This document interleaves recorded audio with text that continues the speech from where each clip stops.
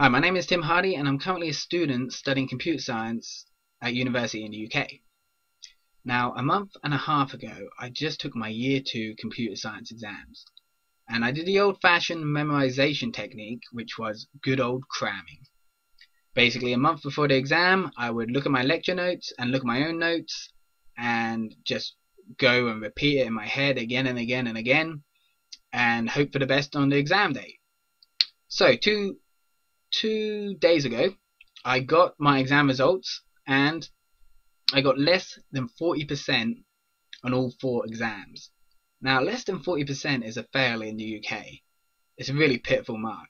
I, I know a lot of people will cram and get higher than that, but I I put a lot of effort into cramming and revising, and I I was disappointed. I put so much effort and got little in return.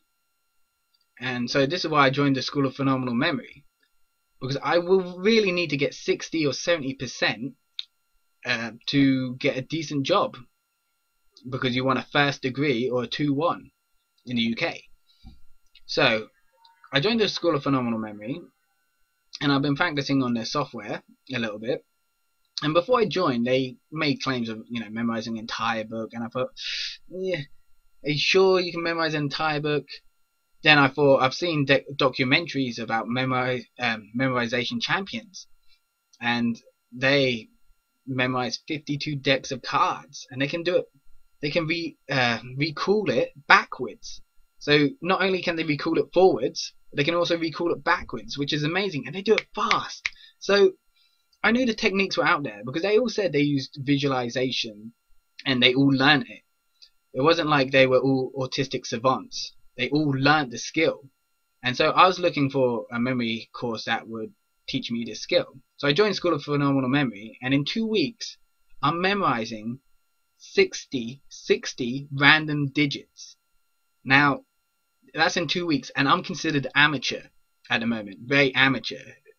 And my focus has gone up because of their software that I'm using to increase this, um, increase the digits and my concentration but I'm considered amateur because people are memorizing whole books. Some guy on a forum in two days memorized a 126 page book, and so it's it's fully possible. And I'm I'm really looking forward to it finishing it this summer, the 60 day challenge. So when I go back to university, instead of spending a month revising, one week of the whole year I can um, revise, memorize all the lecture notes of all the modules. So all six modules, I'll memorize all the lecture notes and then that's in one week. And then you've got the whole semester to do whatever you want. you've got so much spare time because it does stick up there.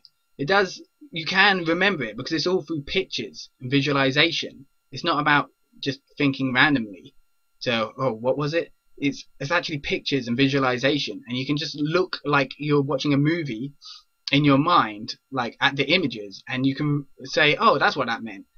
And so it does work, and I have experience with it, and I now I fully believe you could memorize an entire book.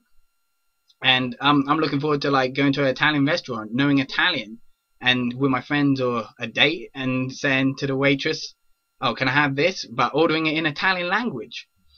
And um, my friends will be like, "Oh, so I didn't know you spoke Italian." It's like oh, something I picked up.